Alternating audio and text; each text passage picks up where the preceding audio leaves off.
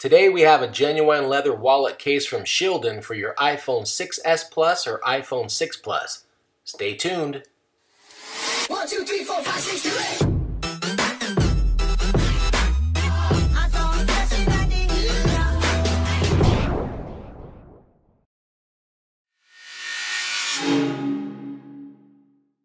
This is for the iPhone 6s Plus, which also fits this also fits the 6 Plus, as well as the iPhone 7 Plus, except for the fact that it will not fit.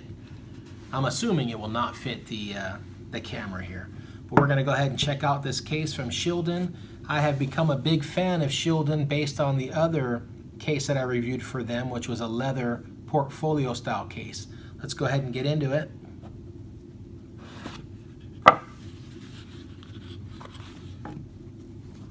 Nice little envelope. And there we have it. There's a nice leather case. Feels good to the hand there. It's black, obviously. And it has one, two, three, four slots for credit cards as, as well as the uh, slot for uh, cash or, or other things. It's a hard plastic plastic um, grip there, or hard plastic shell.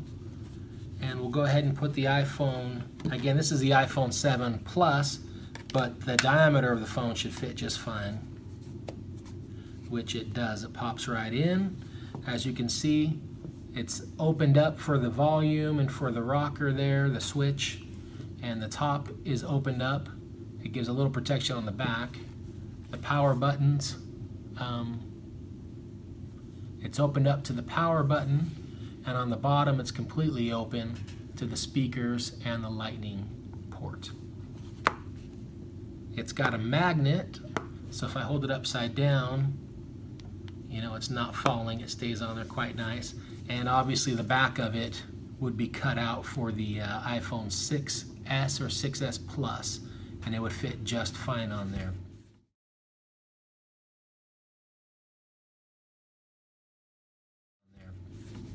First impression, it's a pretty nice case. Let's go ahead and put a couple cards in the slots. I have two here. And go ahead and close it and let's see if the magnet still holds. It does.